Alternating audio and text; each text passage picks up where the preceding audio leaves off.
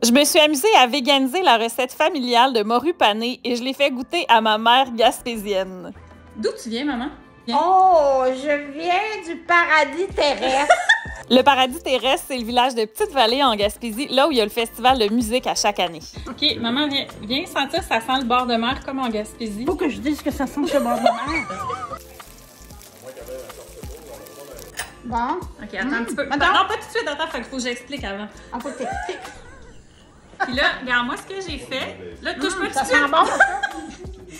Moi, j'ai fait une version végane de la morue gaspésienne, mais ça fait 15 ans que j'en ai pas mangé, je pense.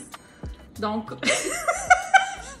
là, toi, tu dis que vous utilisez de la morue pêchée le matin même.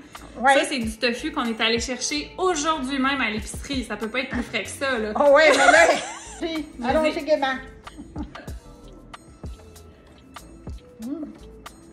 Ben, c'est sûr que bon, c'est bon, mais euh, ça a des croûtes à manger avant de goûter à manger.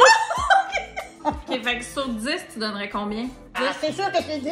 OK, OK. Ça goûte très bon. Bon, Vraiment. OK. Mais, de là à dire que ça goûte à morue, Et c'est bon. hein, pour être bon, Ouais. c'est bon. La recette détaillée qui goûte pas vraiment la morue mais qui est bien bien bonne selon ma mère est disponible sur Mordu.